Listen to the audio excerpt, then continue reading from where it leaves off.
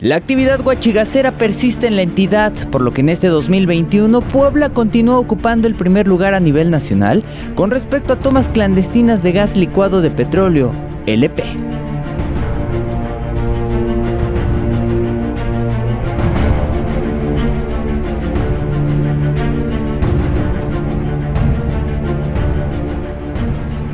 De enero a septiembre se han registrado y sellado 1.143 ductos perforados de manera ilegal, los cuales fueron detectados en un lapso de cada 5 horas con 45 minutos. Datos obtenidos por el Instituto para la Gestión, Administración y Vinculación Municipal, IGABIM. A partir de agosto y septiembre empieza otra vez a repuntar el registro de tomas clandestinas en estos ductos, que esto se sigue generando.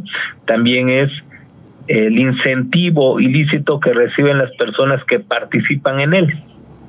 De alguna manera eh, es, es un aliciente de manera ilícita, pero que contribuye dentro de su economía. La expansión de los conocidos guachigaceros se centra en los municipios de Tepeaca, San Martín Texmelucan, San Matías Tlalancaleca, Acatzingo y Tlahuapan.